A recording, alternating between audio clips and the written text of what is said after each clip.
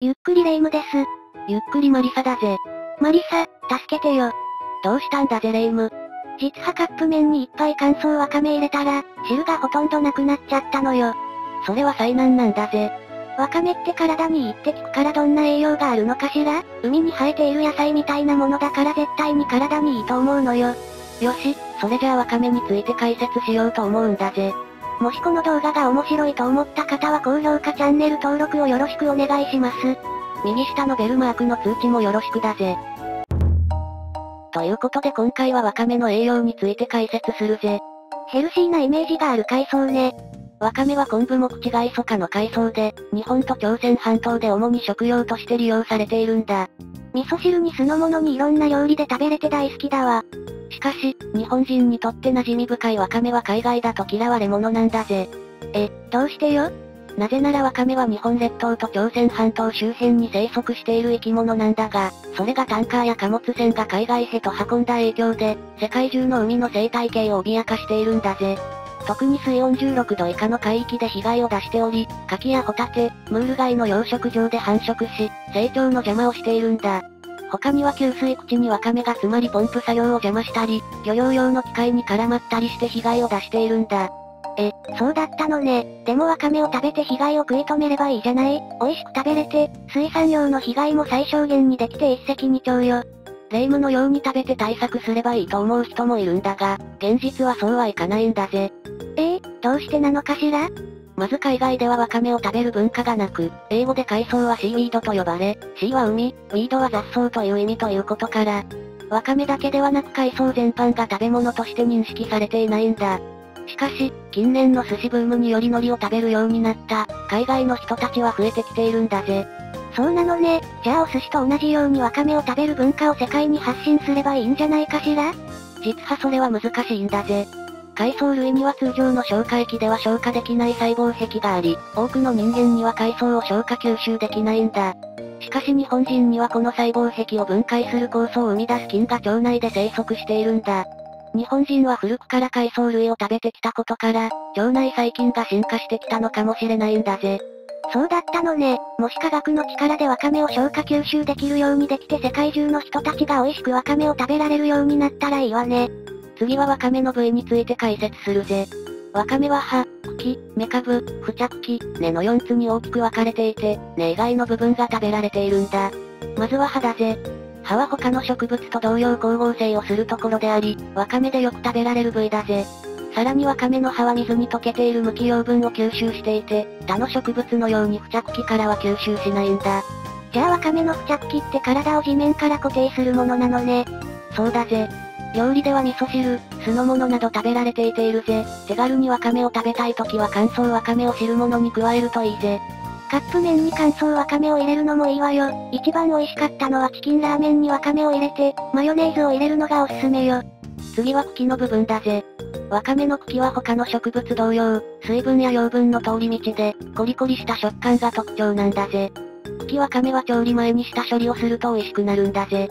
下処理の方法は、茎わかめを洗った後、5分から10分水につけ塩分を取り除くんだ。塩分がまだ濃い場合は水を変えてもう一回つけるといいんだぜ。わかめの茎の料理は佃煮、漬物、炒め物など色々あるんだぜ。コリコリした食感を楽しみたいわね。最後はメカブだぜ。メカブはワカメの付着器の上部分にある生殖細胞が集まった部位なんだぜ。メカブってワカメの部位のことだったのね。メカブっていう種類の海藻のことだと思っていたわ。メカブにはぬめりがあり、これは水溶性食物繊維の影響でぬめっているんだ。なので水溶性食物繊維を摂取することができるんだぜ。メカブの下処理は水で洗った後、茎と耳の部分に切り分けるんだ。その後、沸かしたお湯に茎を20秒耳を10秒湯通した後、氷水に浸すんだ。氷水に浸すと鮮やかな緑色になるんだぜ。もしこの下処理をしないままメカブを保存してしまうと、メカブが溶けてしまうので注意してほしいんだぜ。メカブの料理には味噌汁、スープの他に、ネバネバが好きな人にはたまらない、メカブ納豆があるんだ。メカブってパックに入った味付けメカブがあるわよね。下処理や料理ができない忙しい人にはこれを買って食べるのがいいわね。次はワカメの歴史について解説するぜ。ワカメは縄文時代から食べられていたとされていて、海水から塩を作る技術がなかったため、ワカメから塩分を摂取していた、とも言われているんだ。日本最古の歌集である万葉集には、ワカメが登場しているんだ。北方の、磯のワカメの、立ち乱え、我が丘松名も、木曽もこよひも。この歌は北方の磯のワカメのように思い乱れて、私のことを昨夜も今夜も待っているのだろうか。という愛する人を思う歌なんだぜ。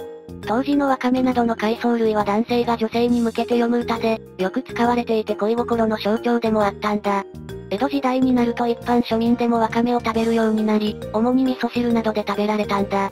1960年代になるとワカメの養殖が普及するようになり、今では国産の95ものワカメが養殖となっていったんだぜ。またワカメは縁起物でもあり、若返りの妙薬であったことから、ワカメを神様にお供えすることもあるんだぜ。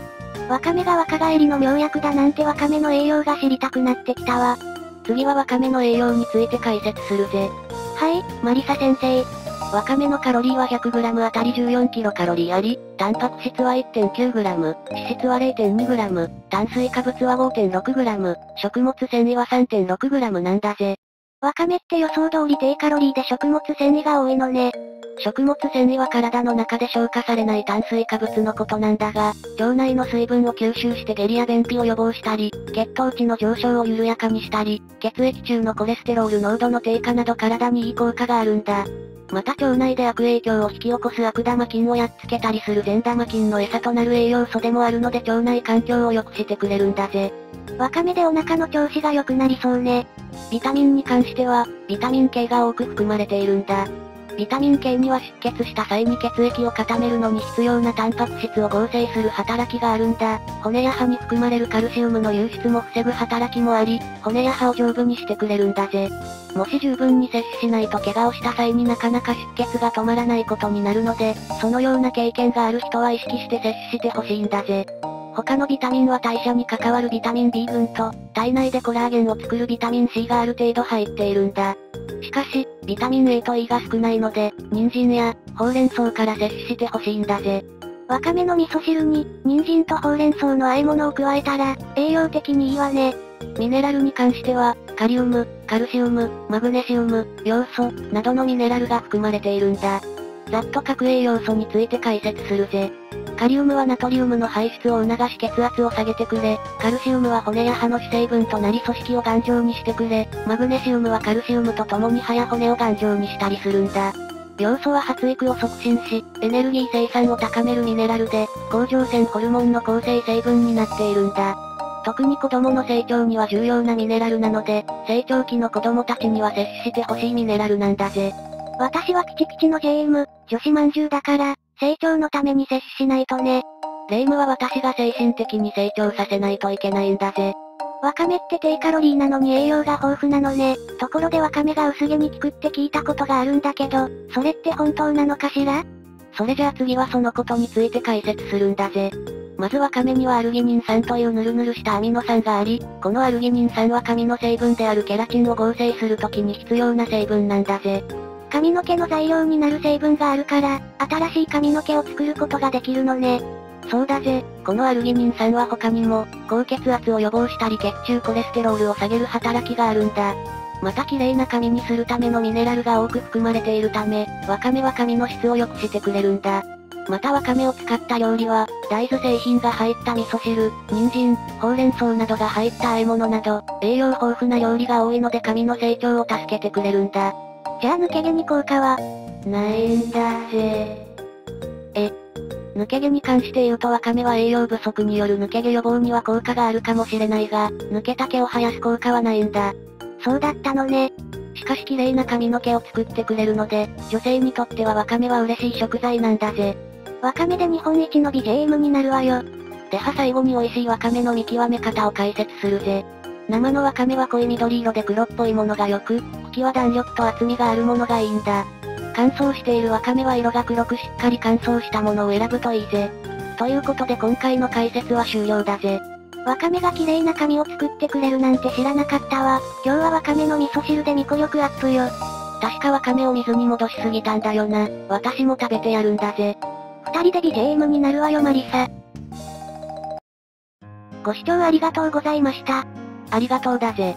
もし、動画が面白いと思った方は、高評価チャンネル登録をお願いします。高評価、チャンネル登録すると中の人が喜ぶんだぜ。たまには、体にいいものも食べましょうね。では次回の動画まで。ゆっくりしていってね。さあ、今日はわかめいっぱいのラーメン食べるわよ。うわ、ちょっとこれは多すぎるんだぜ。2回に分けて食べるんだぜ。私は平気よ。もっとわかめ多くても平気よ。乾燥わかめが全部ラーメンの中に入っちゃった。な、なんだ事変か？うわー、わかめがどんどん増えていくわマリサ。うわー、レイムは一体、どこでこんなもの買っているんだ？そんなことより助けて、マリサー。